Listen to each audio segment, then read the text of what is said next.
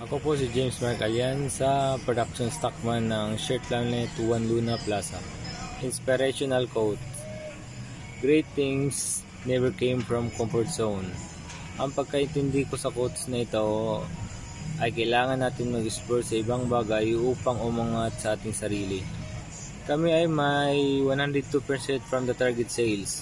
Ang total walk-in customer inquiry ay pumasok ay 379 na tao, average of 20 per day, and average transaction ay 15. Online inquiries namin this week ay poor, na, na close zero, ang suki rito ay 50%.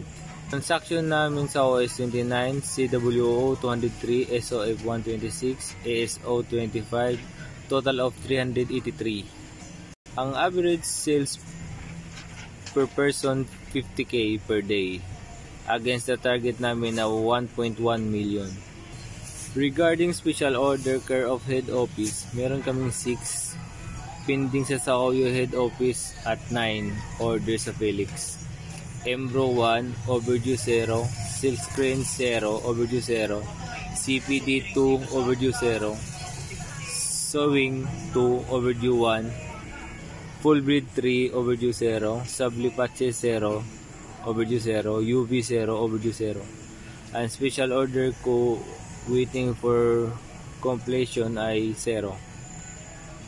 Sa inventory management kulang na basic item, dry fit. Lahat po ng kulay kasi minsan po na nawalan po ng stock kaya nahihirapan kami minsan magbigay sa customer consumable sabli paper kasi malakas ngayon yung election shirt.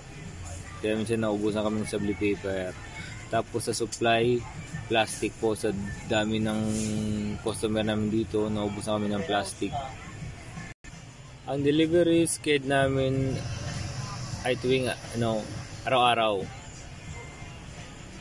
Inventory and special order deadline ay dapat araw-araw din total na pa-deliver ko ay isa. Ang pinakamalayo ay Quezon Province. Kasi nung panahon na yon nagkaka-brown out kami dito, di namin nabigay agad sa customer yung item. Kaya yun na lang para complement. Kami na lang yung nagbayad para ipadala sa Quezon Province. Kasi yung customer pa yung pupunta dito. Sa tech support concern, ang naayos namin ay kuryente kasi nung nakaraan palagi kaming nagbo-brown out. Ang hanapan namin ng local technician ay si Sir Bern at si Sir Alvin. Ang self-training module, sticker printing na panood ko na, printables templates na panood ko na, design templates na panood ko na, proper production na panood ko na, ang tamang oras temperature placement ng MDF board hindi ko pa napanood.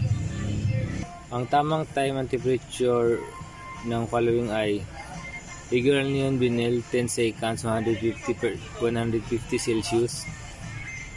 Sublimation on dry fit 25 seconds 200 Celsius Hot peel Sublimation white mug 3 minutes 185 Celsius Hot peel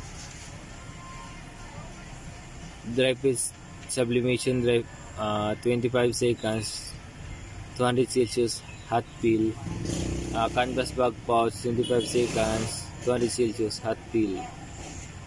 Ang personal ratings ko sa sarili ko this week, uh, discipline good, dedication good, cooperation good, work quality good, uh, work quantity good. A4